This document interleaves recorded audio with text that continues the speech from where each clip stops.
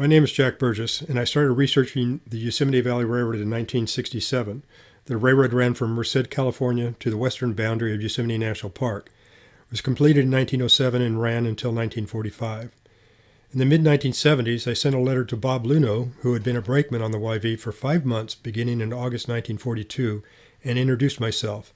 That began years of writing letters, asking questions, followed by long telephone calls, asking more questions. The following is an interview with Bob in 1989.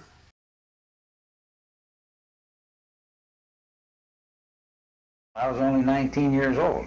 I was a rail fan from uh, the early 30s.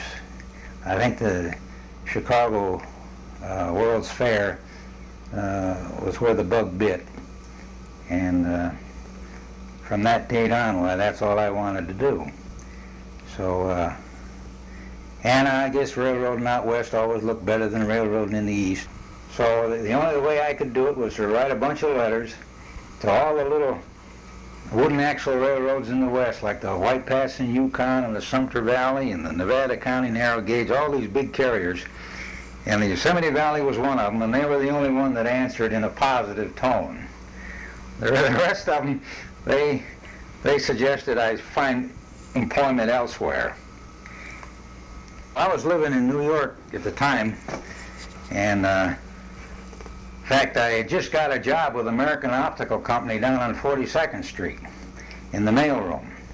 And I worked there one day, and it was highlighted by sending some Manhattan Island mail out with a uh, Paraguayan uh, stamp on them, you know, about $2. I must have sent about oh, half a mailbag, it seems, of uh, flyers out to the people in New York City with enough postage to go to Paraguay. And uh, so I, it was time for me to leave after that one day. And uh, that night when I went home, well, there was a letter from Mr. White, and he says, if you uh, if you want to work in the shop as a as a machinist helper, and then we'll try to work you in as a brakeman if an opening occurs.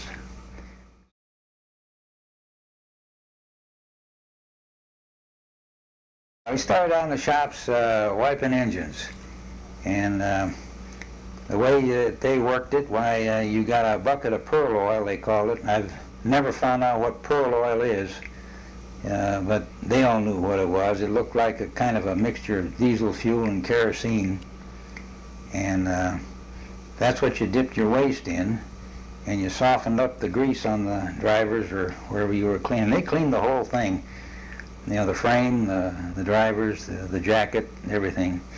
The idea back of cleaning it like that isn't just cleanliness, I mean just for show, it's to see if there's cracks and things of that sort. Then you'd have a, an old power hacksaw blade uh, broken off and ground off flat. That was your scraper. So you'd uh, you just sit and or stand and climb and wash those buggers down from one end to the other. I was the only kid in the shop.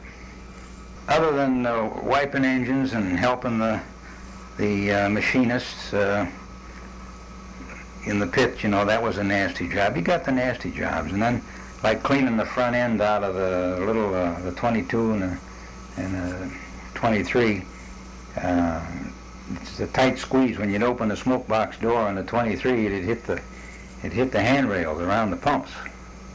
So they needed a skinny kid to clean, uh, get in there and, and, and bail out the carbon. So um, that was another job. But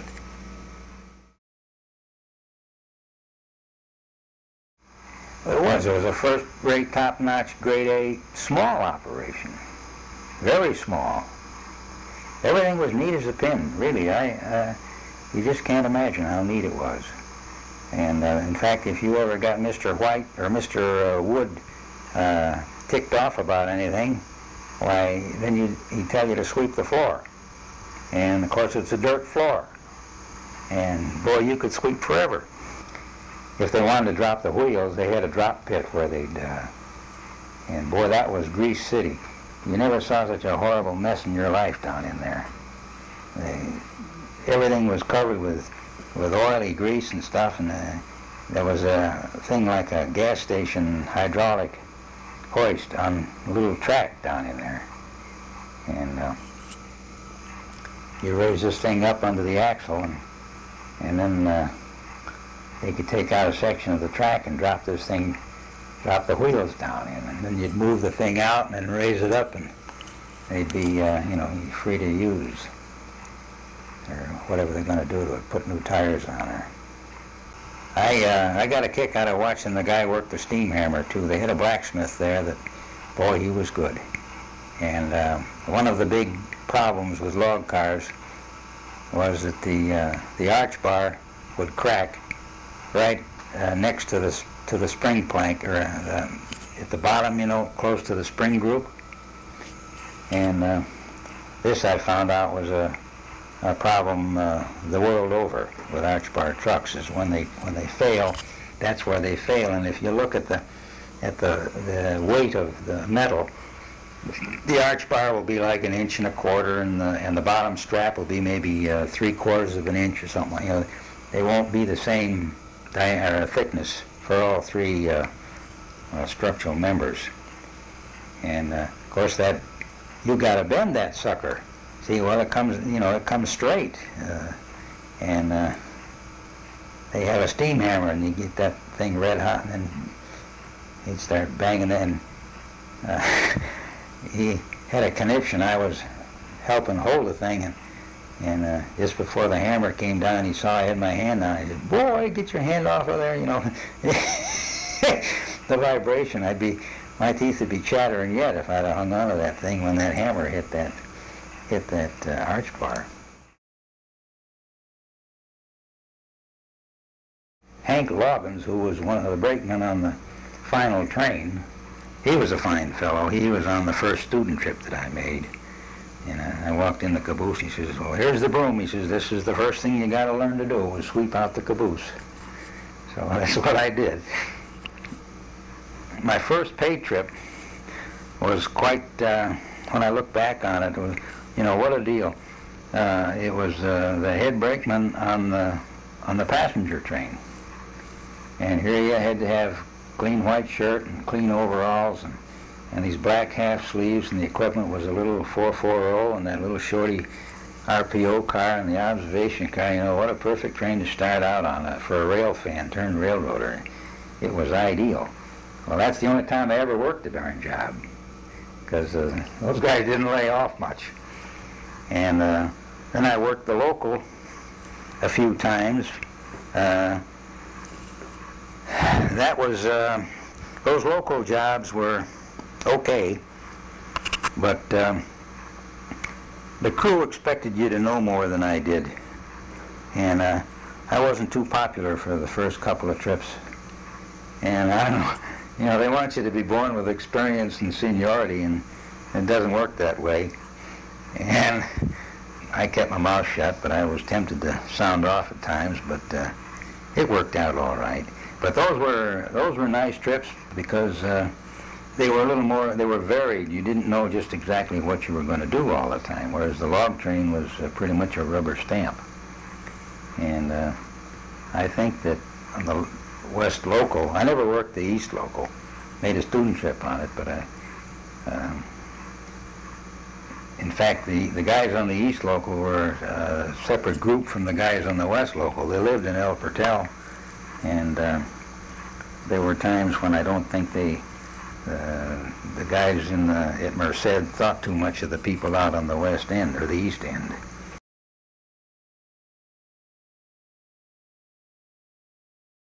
You switched in Merced. Uh, that's the first thing you did on the uh, on the local. I went to work, I don't know, around 2.30 or 3 o'clock, something like that. I think that we, the, the plan usually was that you'd leave Merced after the passenger train got in. Because, see, they'd come in there around quitting time. It'd be around 5 something, 5 o'clock, 4, 4.49 or something like that. And they'd go down to the depot and then they'd back around the Y. And then the, log, the local would, uh, would leave the first night I was on a student trip on the upper local, you know, trying to be helpful and all that. And we had one of those old cars that I'd fooled with around the shop. We'd worked on it. And I knew the drawbar didn't work. The knuckle wouldn't come out, see. So So here old man Gibbons, the conductor on the upper local, he's pulling on this thing, trying to get it to, to uh, open up, and, and uh, the cars are about four feet apart. And I said, here, I'll get the other one. And I walked between the cars. See, you know, old Gibbons, he just about died. And uh, about 20 seconds later, I found out why. Then the slack all ran out and the cars came together. so I figured, I don't think I'll do that anymore. The log train only put its own train away. It didn't do anything else. And uh, this West Local did all the, the warehouse and the sawmill switching. Then, depending on what the time was and how the guys on the east end were doing, they would uh, perhaps change the meet from Merced Falls to uh, Star or Detweiler uh, or Drum, places like that. And then you'd go up into the hills, and uh, by that time it's dark, of course. And you'd meet them up there, and what would happen was you'd just swap trains, and uh, they'd go back with your train, and you'd go on into Merced Falls, and then you'd have to switch to town again if there was any if they had any uh, logs, you had to put them away. Uh, it was seldom, if ever, did they have anything other than logs from Merced Falls. The only awkward part about that was, uh, as I later found out, was that when you worked the local, that Dutch drop, the head brakeman had a different job than on the lo log train. And it was a tough enough affair to figure out anyhow, and then you had to learn both tricks. And on the, on the local, you'd ride the, it was the head brakeman's job to, to ride the cut and pinch them down so they didn't roll into Snelling. And uh, the other man, he, uh, the hind man, he's the guy that did the, the gate throwing. And uh, this kind of screwed me up for a while because I was used to riding the engine on that deal. And uh, it takes a lot of muscle to screw down those, those damn log cars. And you can't run over empty cars like on the daytime. See, you, uh, there's logs, so you only got one car, and if you don't pinch that sucker down right proper, you need another car. The only thing you can do is hop off and catch it, the next one when it comes by. See, and uh, that led for some exciting moments. When you look back and think about some of the, the highlights of the thing, I always think that when the local had to meet somebody uh, up the line, say up at Star or Drum, then you'd, you'd come back down to Merced Falls, the rule was you had to decorate.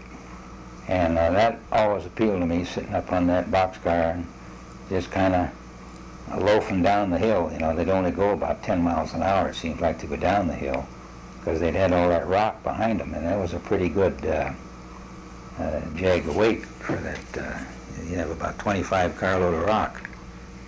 It was nice on a moonlit night to sit there and hear that engine popping and farting up there, you know, the, the fire out the bottom, and you know, all you'd hear would be the, the pumps uh, chugging away and the generator whining, and it was nice.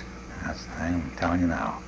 And then when we get to Merced Falls, as I say, we get rid of the log cars if we had any, and uh, go on into uh, Merced. Well, you go to the cement plant switch, and the rocks were on the back end as a rule, because they usually have your head end cars with uh, any local freight that you have, or anything from that uh, national lead up there. That'd be up next to the engine, because you would have left uh, El Portal with just a very short train.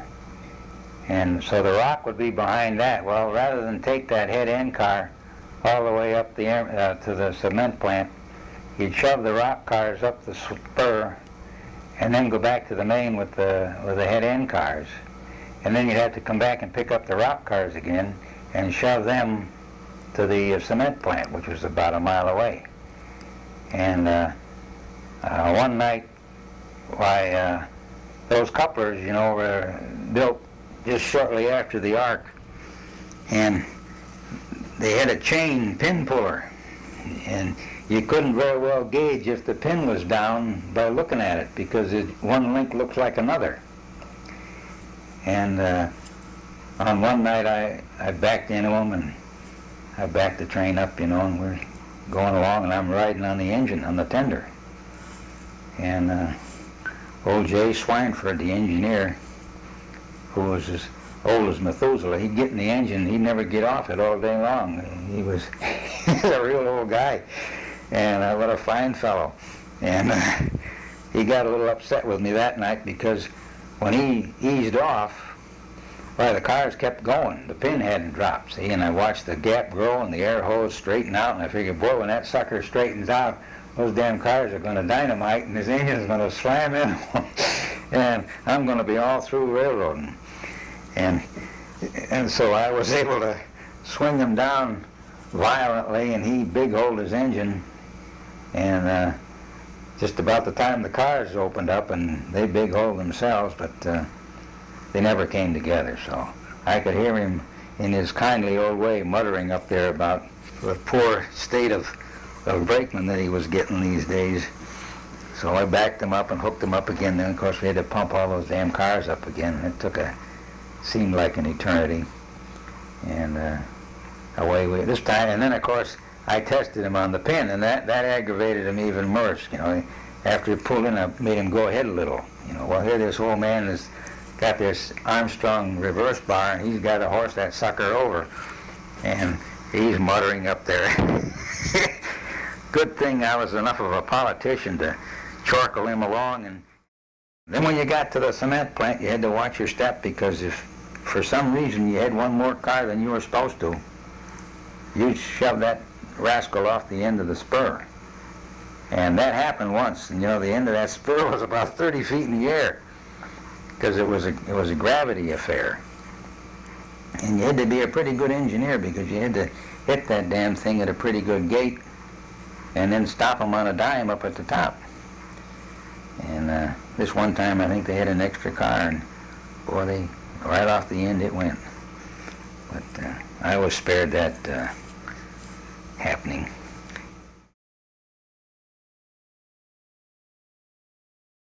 I've left uh, incline uh, with just a caboose, and you could hear that sucker whistling up the canyon. And he whistled profusely, letting you know he's coming. He was kind of a here I come, uh, and I'm better than you, so get out of the way. He was that kind of a guy. And you didn't even want to stand near the switch when he went by. He says, you better get about three car lengths from that switch because he's afraid you'll throw it right in his face. I've worked on a couple places where they wide equipment, and uh, the wide track is always like the, uh, it's the worst maintained track on the railroad. So you don't want the engine to get way down the tail of one of them.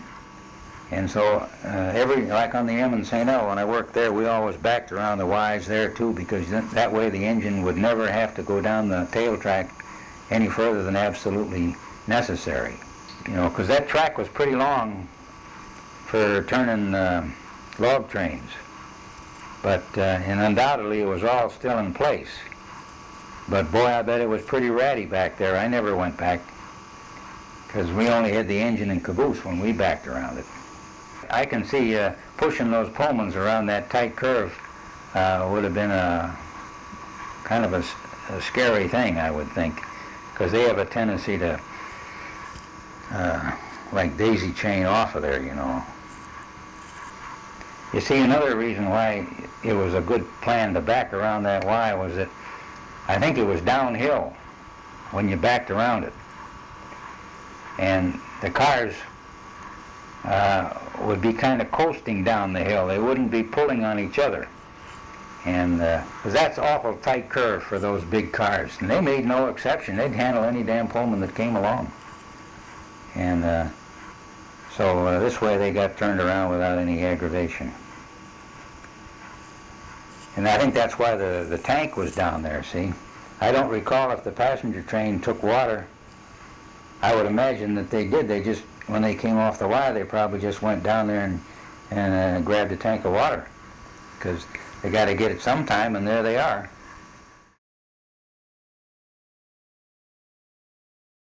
See, they had friction bearings in all the cars, and when you'd have a, a hot box or one that's warming up, they'd hang what you'd call a keeley on the car.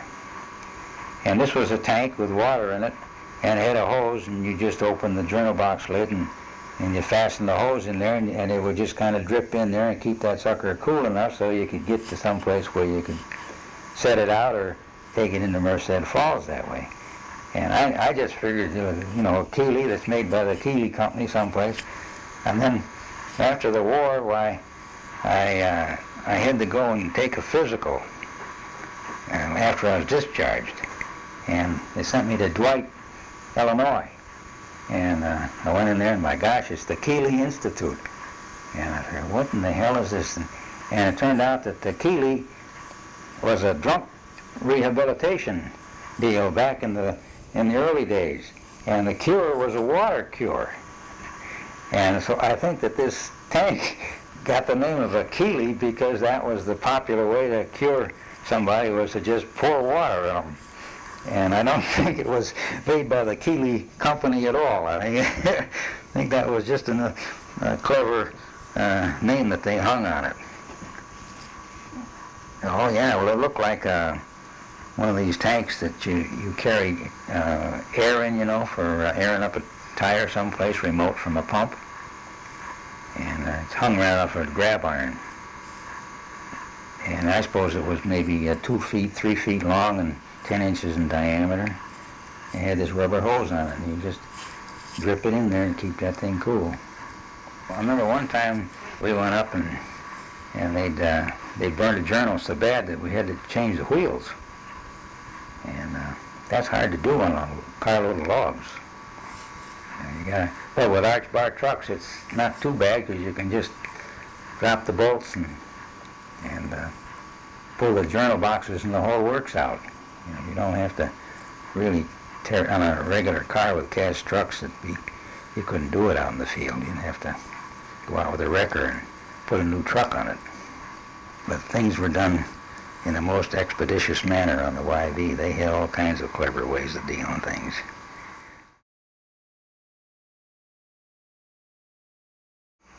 They claim that up in the woods they used to move the cars by bumping them with the log. And of course, uh, that could be done gently, but chances are it wasn't. So they took a terrific beating. They'd hit the bulkhead or hit the corners, and, and uh, of course, uh, those sills are a misnomer because they don't carry any weight. The only reason they're there is to support the floor, which which doesn't do anything. It's amazing why those cars were made that way. They think they would have been made skeleton. When the log train would approach Bagby, it was time to inspect it because that was about halfway and we had to stop for water. And uh, the man on the engine would get off about 25 cars from town and observe the uh, front half of the train going past him. And then as soon as the train stopped, he'd cross over and, and walk up to the engine at the same time the, the rear man is is walking toward the point where you got off. So the whole train would then be inspected. You were looking for broken uh, dragging beams or chains that were dragging, anything like that. And uh, of course, when I'd get off, that they'd be going, it seemed to me, about 30 miles an hour. And uh, you'd have to have your feet running before you hit the ground. And uh, a couple of times I plowed into the right of way, and I figured I had to develop a better way of doing it than I was doing it. So I ran up this hill, and I I run up about 25, 30 feet, and that would slow me down. And I always thought it'd be amusing to come back someday and see this path that went halfway, went halfway up the hill and then just stopped. But I guess that's all underwater now. Then when we get down to Bagby, why well, they'd usually have the have their water and uh, I go into the store there and get a couple of ice cream cones and, for the crew. And it was something to see me catch that engine going by with a handful of ice cream cones. It, uh, I got real good at it there.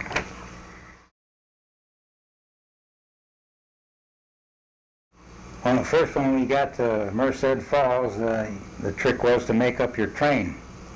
And uh, you pick up the engine and uh, the caboose track is right next to the turntable, and you'd put the caboose on the front end of the engine.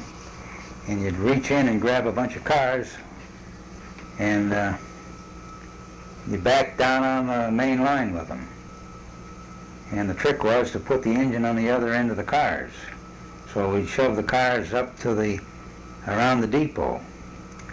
And then you'd reverse the engine and start backing up just as fast as he could get her going in a short time there. Then he'd give me a little slack and I'd pull the pin. I'd be riding on the pilot by this time. And then the engine would uh, race away from these uh, rolling cars and get down to the switch that went back into the, the, uh, the log spur. And this was a uh, trailing point switch, so the trick was to put the engine up the, the log spur without getting uh, creased by these cars coming at you. So you'd uh, hop off the engine, turn the switch, and the engine would uh, run up the log track, and, and then you'd line it back for the main line, and the cars would hopefully have enough momentum to completely pass the switch. And uh, every time I was there, we, we did it successfully, but I can see where if you, if you didn't pull them fast enough and they died on you before the last car cleared the switch, then you'd be in a kind of a bad spot and you'd have to pull them back or do some trick.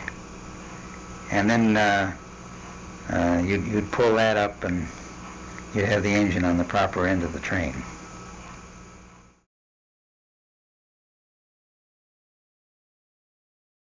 Because I, re I remember the last day it ran, there was a logistics problem of bringing in the engine. Because the fireman had his car. He, he was the automobile driver.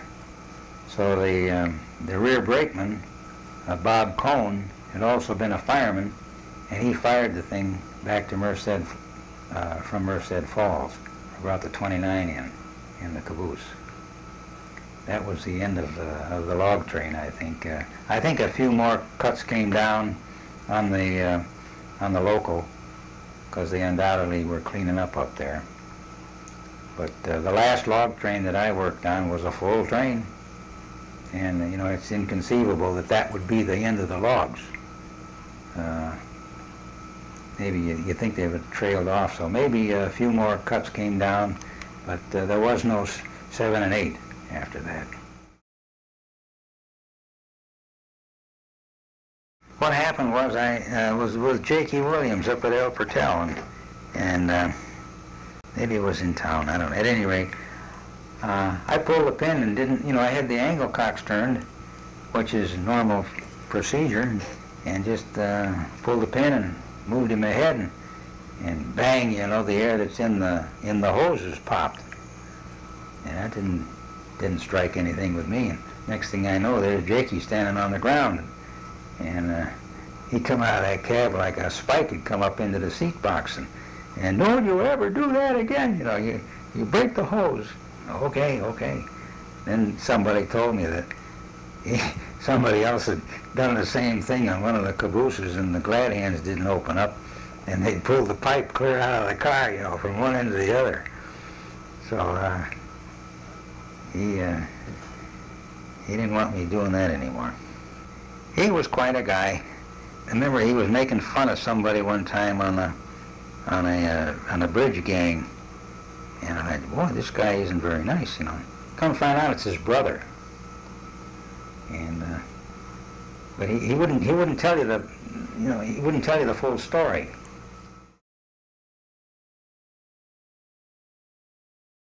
I was just thinking, you know, you talk about today's wages and all. Nobody on the road made a dollar an hour, and uh, it was uh, it was forty cents an hour in the shop, and I think it was seventy cents if you were braking or firing, and ninety cents if you were an engineer and conductor.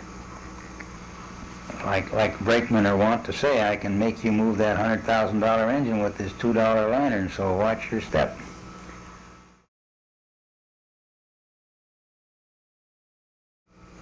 you ought to make some mention of Mr. White because he, uh, you know, he gave me the job out there and no one in his right mind would have done that. And then I found out that he gave jobs to lots of people that uh, were, let's face it, uh, unemployable as they now use the word. He'd give people jobs to get out of jail, you know, if they needed a, they needed a job. And they didn't have to stay there any length of time, but they, he'd say, yeah, he worked here, you know, and then they, he'd get a parole.